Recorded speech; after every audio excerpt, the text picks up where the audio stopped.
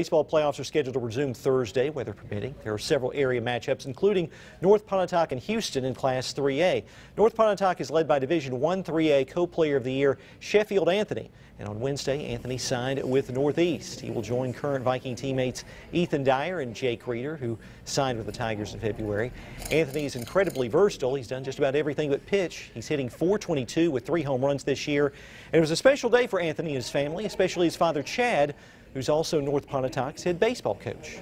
It's real special. You know, it's harder at times, but I'm, I'll always be thankful for him. He does a great job of not only coaching me, but pushing me as a dad, too, and just helping me relax and just play the game that I've played my whole life. We talk about to the parents about not maybe not yelling at your kid from the fence, but I'm yelling at him every second. He'll probably tell you from the dugout. So uh, it's probably been tougher on him, and uh, but he's uh, he's handled it good and, and has been blessed to have a great senior year, and couldn't be more proud of him and the work he's put in.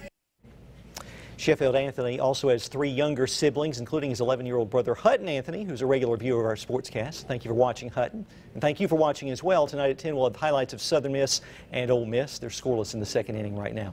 That is sports. More news after this. Stay with us.